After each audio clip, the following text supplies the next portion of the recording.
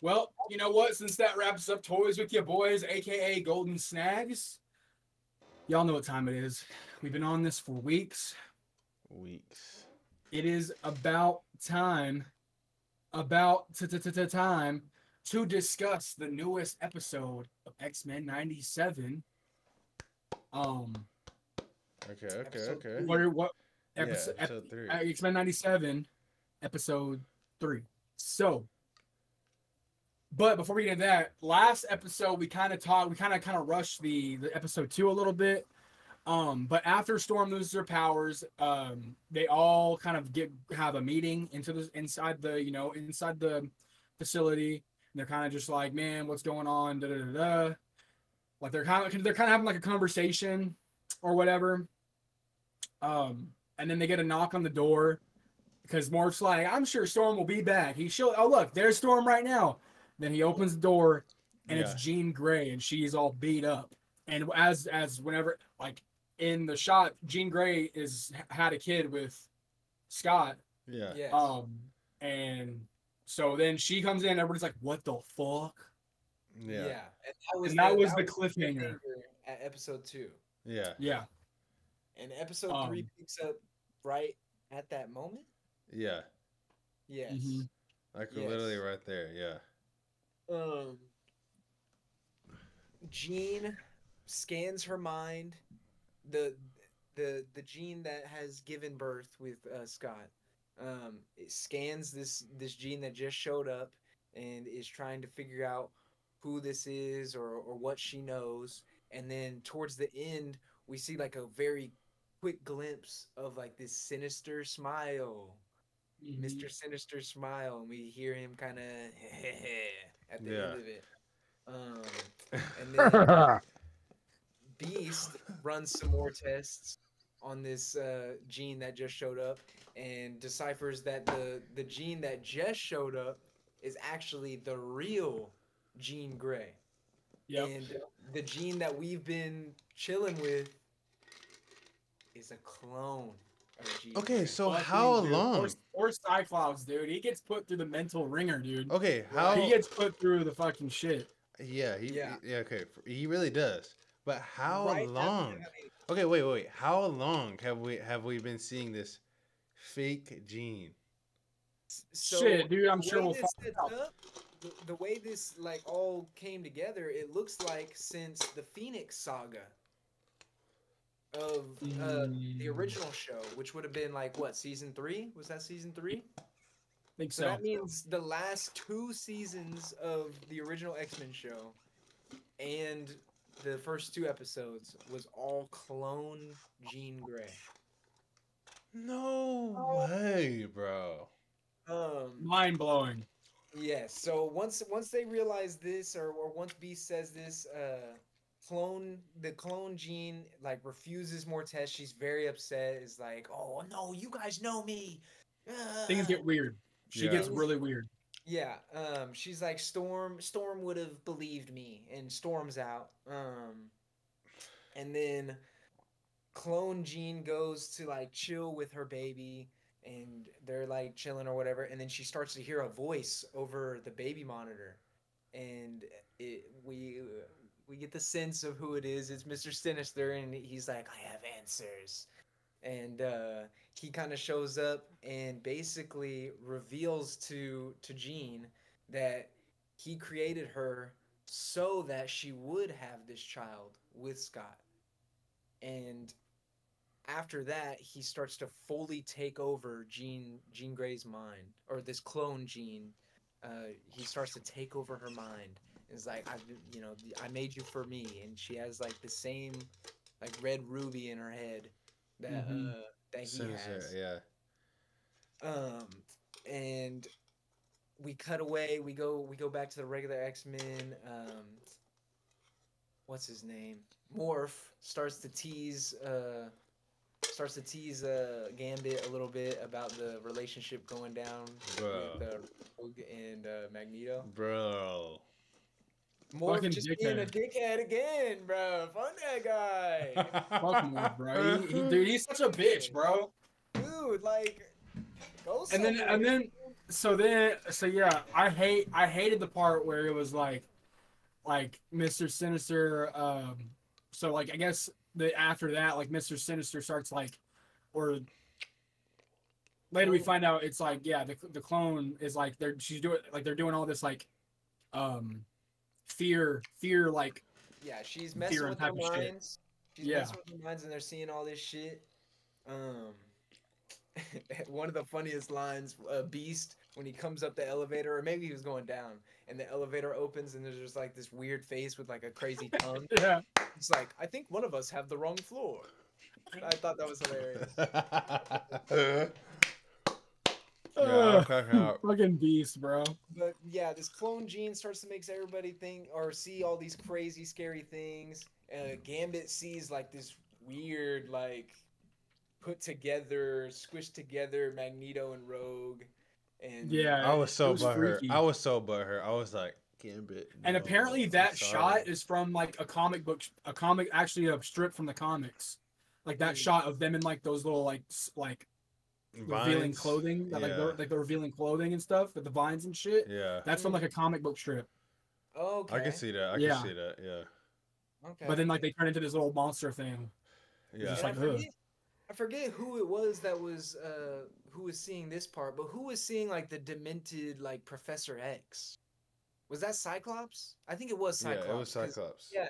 This like demented Professor X is scaring uh, Cyclops and saying like, "Oh, you can't even protect your kid. How are Yeah, you?" gonna yeah. Yeah, it was. Yeah, it was Cyclops. Cyclops. Yeah. uh, that was pretty. That was pretty scary. Um, seeing Professor X then, demented. then, like then jubilee and robert dacosta were like watching a movie yeah. and like it's kind of like a kind of like a ring moment where like they just come out of the tv and shit Yeah, and it's like what I think it's like his mom or something. Yeah, it's his mom. Yeah. Mhm. Like, you're, you're an ugly mutant. yeah kind of the weakest God. one. Kind of the weakest Yeah. one.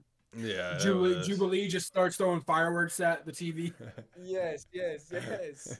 Uh, and then What if she? What if she? What if she says? What if she would like say when she does a fire? She's like, "Take this bottle rocket," like- or like, or she, or she say, uh, That's "Roman what I- candle," That's what it sounds like too. Like he gee. or sparkler. sprinkler. oh my gosh. But then that kind of just devolves into a whole big fight between the whole all the Mhm. X-Men and they're kind of in this like hellish dimension uh, situation. All these crazy monsters are flying around attacking them. And I think that fight was super fire. Um, Yeah. The the little like combined uh move that um yeah, Cyclops, Cyclops and dude, that was so hard. Bishop's just like mowing down all these damn monsters so hard. Yeah, because he was like, So he was hard. like, hit me, and this freaking like purple just, uh, dude, it was so hard, bro. I thought it was, Yeah, so, no, that was that oh, was a that was so tough. Um, and then Magneto and um, or well, that's later on. Sorry, sorry, sorry. That's later on. Sorry, sorry, sorry. I was about to, I was about to skip. But then the real Jean kind of senses that something's going on, and she comes in to help and is like, "That, that's enough." And she starts uh, like fighting mentally with this clone Jean. Um, and after all that, after she kind of beats her a little bit, uh, Clone Jean reveals her new name, the Goblin Queen. Yeah, Um, I The don't Goblin. know. I don't know if that's a comic book. yeah, uh, I'm not sure. sure either. It probably I'm is. sure. It is, yeah. I'm sure it is comic book accurate. Um, but I've I've never read that story. Um, but she leaves, and the X Men go into like this little bunker downstairs or something. Um, is what it looked like, and and they're just kind of planning. Um, and they go to to find Mister Sinister. Sheesh. What? Goblin Queen, Goblin Queen, bruh. What? What? Um, that comics, that comics fit is crazy. Oh, okay, okay. Sheesh. Okay, okay, okay. Usually is. Usually is. Yeah. Um, but then after that, they all after they kind of meet up and plan, and they're they're kind of like, uh, what's it called? Uh, recouping after this whole fight. Cyclops is obviously like just devastated. Right. Honestly, hey, I will say, I'm really enjoying Cyclops' Yeah, character. I am too. I am too. I've already like staked myself as a Cyclops hater. Um, in the Yeah, bro, you're putting too much negative energy on Cyclops, man. Leave that guy alone, bro. I'm, bro. re- I'm really liking what they're what they're giving him uh, this season. Yeah, I am too. Man, man, uh, I'm I'm really enjoying it. But then anyway, they go they go to fight Mister Sinister and this clone Jean, um, and the Goblin Queen shows the ability that she's able to like just fully take over somebody's mind. She takes over um, Morph. what's his name, Morph's mind. That was pretty wild. She, Yeah. she, she can keep his mind, honestly, in my opinion. um, I just and like I just like his power, honestly. I mean, it's just Yeah, no, it, it is a tough power. It is Yeah, tough yeah. It's a tough- Um, and then Magneto and uh, the Goblin Queen fight, and I think that was really tough. Like yeah. Magneto's taking all the metal and shooting that at her, and then she's like, "Oh, all you can do is metal. I can touch all this," and starts Yeah. Shooting glass at him, and it's like cutting him up and stuff, even though he's shielding. Yeah, Um, Insane. Yeah. Yeah. that Pretty was good fight. crazy battle. Yeah, I thought their fight was definitely fire. Um, and then we kind of cut back to the uh, facility, and why is Wolverine on the on the sideline so much?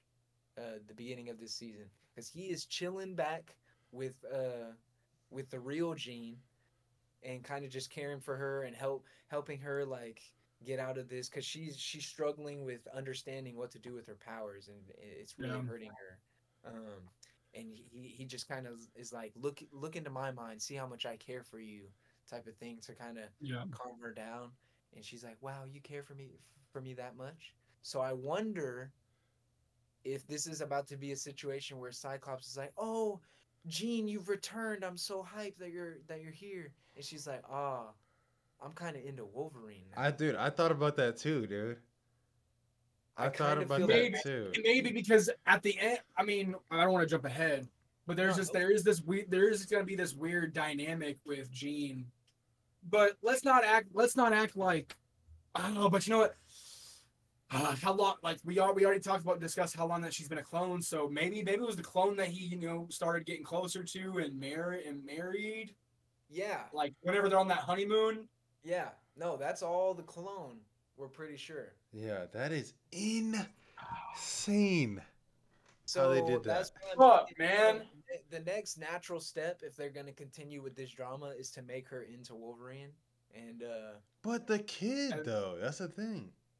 And she rem- So, yeah, and does, we'll doesn't to- Yeah. doesn't she Yeah, yeah. remember? Yeah. yeah, Go ahead. we'll get to the kid for sure. Um, but after that, she kind of she kind of like goes to see what what's happening over um in the fight, and she sees that the the Goblin Queen is fighting Cyclops and kind of kicking his ass. Um, so she starts to fight her mentally again. Which I thought was amazing. this one was a lot bigger and like we we see all kinds of stuff. I thought it was so good. Yeah. At one point we see like this flashback of Professor X um, going to going to meet her for the first time in her home with her parents. Yeah. Um, I thought it was a cool scene. Right. That was that was definitely the original Professor X voice actor, right? It sounded like him. It sounded like it It too. definitely it did sound like it. I think so. I don't know. Okay, okay. I, I need to look up the. I still haven't done that. I need to look up the voice acting cast and see who all actually uh, moved over. Um, but she she shows uh, this flashback and kind of just helps break this connection that Mister Sinister has with uh, the Goblin Queen, and she's she's ready to help. Um, and we go to see that uh, we we go in to see what Mister Sinister is up to, kind of, and we see that he's like put this child that uh, she brought him, this child in like this tank, this green tank of like moving fluids, and he, he Yeah. says it's it's to make Nathan invincible, to make him indestructible. Right. Um, but after after they get the Goblin Queen kind of back to normal and she's not controlled anymore, and they go up there, Cyclops just busts the baby out of the container like no questions asked. Um, and I guess I can't blame him, but Get my baby out of there. Get my baby out of there. What are you doing? And then uh, they kind of make quick work of Mister Sinister. like yeah, it, that was kind of like They make quick work of him, uh, But- but, but- it was. They do have. Mr. Sinister always always end up, ends up being sticking around. Like he's literally gotten obliterated. yeah, Yeah, and then he's no, that's coming true. back, so He'll be back. He'll Yeah. be back for sure. But then they they like check on Nathan, little baby Nathan, and Nathan appears like super super sick, and he's got these green like vein things, almost Iron Man esque. Um, Well, it's when- similar to the virus that was in that future in the in the X Men animated series. Yeah, like it was similar to that virus. the the yeah, phalanx. not not not the phalanx, not the phalanx, what? not the phalanx. But whenever when and whenever you had the uh, whenever you had uh, Cable come in, and it was because of they they they sparked people with that uh, mutant drug that would only kill mutants. So it, they had the same that had that same design and effect, but it was just green. Oh, But like okay. in the X Men animated Yeah. series, it was purple. Like people were starting turning purple and getting like that same type of virus thing. right. yeah, yeah. So maybe because because because this is why they te- this is this is why and this is like kind of I know Chandler's gonna bring this up. This is why they send Bishop. This is why they they write it into into the story where the Bishop goes because people in Bishop's timeline have dealt with that type same type of virus that kills mutants. Yeah. And they have the technology to help the baby. right. Um, so yeah, getting into that, they kind of realize well, after they take the baby back, they they realize like we're not going to be able to cure this baby, and I thought they were about to just kill off this baby. Loki for a second, I was like, Bro. damn, were they really about to kill off this baby in the show? Um, but they they're I forgot that Bishop was there, and in in the episode, forgot to bring this up in the episode early on. We kind of hear Bishop say something about wanting to go back and why Right. he hasn't been able to go back um, Yeah. because they were building his his band that allows him to travel. Right. Um, so they kind of realized that the only opportunity to to heal this baby is to get Bishop to take it with him in the future, where they have hopefully, you know, updated technology. They've dealt with this before, and he says that there's somebody there that's extremely smart and will uh will help with the with the baby. Um, And so Cyclops seems very against this. Yeah, he was not happy. Yeah, he was Yeah. like, I don't want the baby to be abandoned, and da, da, da, da. but I mean, it, there there really was no choice. yeah, Um, so Bishop takes the child, um, and I kind of got like a reluctant feeling from Bishop. Uh, it, it- just in the animation, the way they animated his face when he takes the child, like it doesn't look like he's like Ready to ready help. yeah, Um, and then after that, we see Clone Jean is she's leaving. She's walking down the street away from the uh, X Mansion, and real Jean goes to like talk to her and is like, "You can stay with us. Like you have a home here. Just because you're not actually Jean Grey, like doesn't matter. You can still stay with us." And she's kind of like, "No, um, you've seen my memories." You've seen what I want. I want a life away from this. I've been trying to get away from this. Um, so she says she's going she's going off to start a new life as Madelyne Pryor. yep. Um, and she she takes off. And then another big cliffhanger to end off the episode.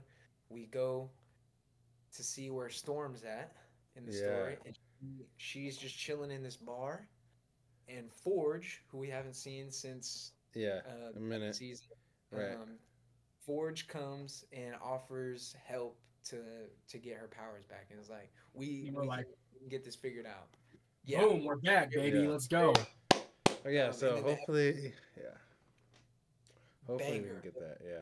I'm. Yeah. I thought it was a great. I thought it was a great episode. Yeah, it was great. I'm mean, excited for episode three or episode four, but dude, hey, they're pump, they're pumping, it's they're pumping out some good stuff. I really like where this is going. Yeah. Um, keeps me, it's keeping me intrigued. So yeah, oh, yeah. Definitely. Yeah. Again, I mean the animation, dude. The animation, like just being able to see, like I- I'm probably gonna say it every time we talk about this this show, but just every every step of the way, like we were kind of doubting this animation. Yeah. We were. Yeah. Definitely. and they they really went all out. Like I love the fighting in this show. Oh I love my gosh. Yeah. I love the way they let these characters just kind of go ballistic. Way, Yeah. way, way more crazy than we ever got to see in in the older show. And obviously, Yeah. there's a lot of limitations Right. for Obviously. that show back. Yeah. So it is just such a such a crazy fire thing to see um to see them moving in this crisp animation and really doing everything right, man. hits. doing everything right. I feel like um, I feel like this is will definitely the this is is getting some good feedback from a lot of people. So we'll definitely be seeing some good good push from you know this definitely will be a pioneer for the Marvel animation universe. Like we'll definitely Right. we'll definitely look back on this show and be like, yo, this show really pushed us to get what we're gonna get in the future. So yeah. Honestly, definitely the way it's definitely liking where this is going. Right. Yeah. Honestly, the way um, it's looking right now, I would really want a second season. But I mean, we'll see how it Yeah. goes and how it ends. Yeah, I hope that I hope they make more seasons. I hope they make more seasons, um, and I hope that this kind of does spark the Spider-Man resurrection, the Iron Man resurrection. Like we can we can do a ball if we want to. Hey, Yeah. We can get, wait, we can do some move, do a couple movies, animated movies in there. You know, Oh my gosh! DC does all DC. Okay, and this is the funny thing: DC's animated movies have been on a decline. Mm, Like they, you haven't even really seen no crazy animation styles for the DC, DC like animated universe because it's just like, I've watched a couple of recent DC movies or DC animated movies. yeah. It's nothing crazy. When you watch an animated movie, it has to have eye-catching animation. It just can't be no bland shit no more. right. Like it has to be like as like as viewers, we're kind of growing for more technology, and our eyes are adjusting to crazier animation styles. So we need that animation style to keep us invested and also have that good story. Right. So therefore, you know, I think this Marvel animated, I think the Marvel animation studios are going to really be on that that side of production.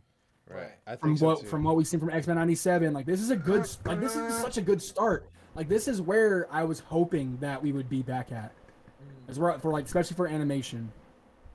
yeah. you know for production production wise i i think it, it's still it's still you know I it's still got a lot to prove but like this is this is not this is this does nothing doesn't put on a decline it puts it on an incline for like you know viewership ratings and you know if marvel if marvel's back now we do we just got to bring back that live action feeling we got to bring back that live action feel Yeah. um, but we uh so on the new we missed it we missed this. Uh, they just they announced the name for Thunderbolts. Actually, it's like Thunderbolts with like an asterisk Uh-huh. at the end. So there's that. So I know they're in they're, I they're, they're in works for the Thunderbolts. Okay. Okay. Yeah. But I'm I'm glad So- you brought up the the DCAU because the DC animated universe has always been like one of the strongest things that DC have. You're right. Yeah. Um, they've they've had some crazy animation and like you said, bro, the last like I couldn't even tell you how many movies have just been such bland, simple, plain animation.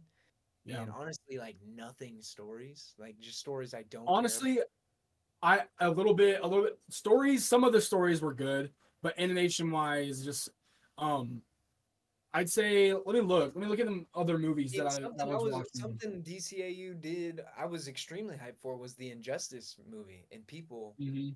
hated that, and I think rightfully so.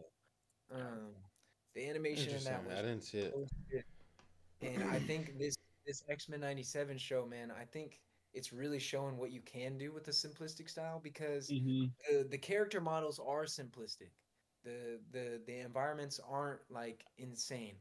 But once we get to the action packed moments or once we This- get yeah, to so good. the stuff where they really need to or or where they are able to flex their animation, Mhm. they don't hesitate.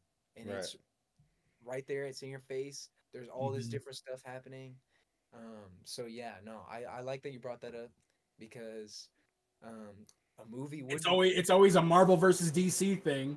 Yeah, Like, it- it is always a Marvel versus DC thing. which it which it sucks because we we we all, we but we all love both, and um Right. but yeah, I mean, hey, I'm liking where this X Men '97 is going, guys. Hey, ASG, drop in the comments. Tell us what you're thinking about how you guys are liking X Men '97. Um, if you guys think it's a banger or whatever, anything else you guys want to go off, just leave it in the comments. And um, but uh, yeah, I think yeah, I, I'm gonna I'm gonna go ahead and uh, say deuces and peace.